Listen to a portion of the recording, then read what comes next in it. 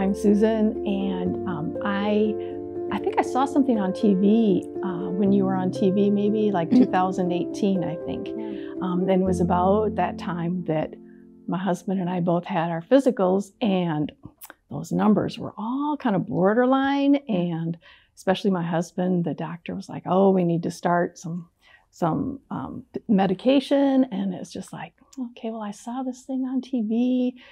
do we want to spend the money on it? And it's like, well, it's better than medicine, right? So um, we started using it myself more faithfully than my husband, but um, we use it pretty much. I use it every day, once a day, sometimes twice. My husband pretty much uses it um, every day. He puts it in his protein drink, the Mhm. sprinkles in his protein drink, Mm. um, and uses that way.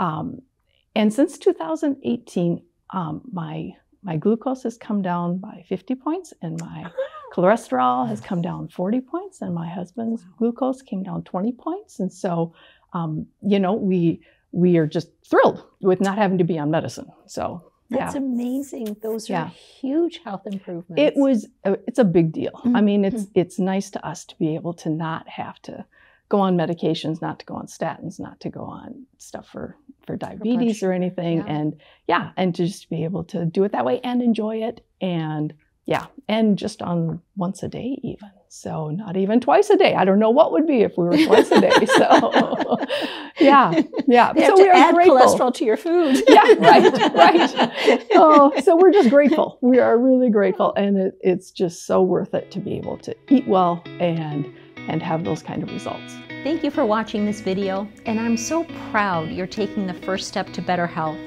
If you have any questions you'd like to discuss, please reach out in the comments below or click on one of the videos on the screen.